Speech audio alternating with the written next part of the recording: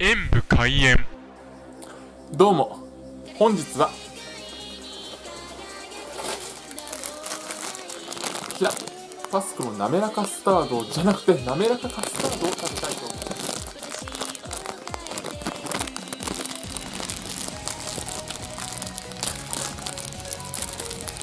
ちょっと全面が見にくいですデニッシュな土壌がタルトというかそんな印象ですね。